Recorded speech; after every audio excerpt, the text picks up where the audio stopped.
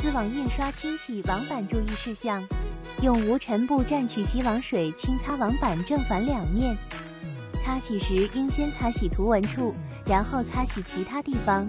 每次印刷完成后，需要及时清洗网板。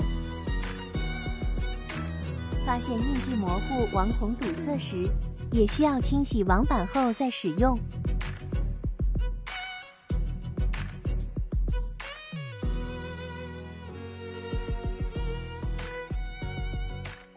清洗完成。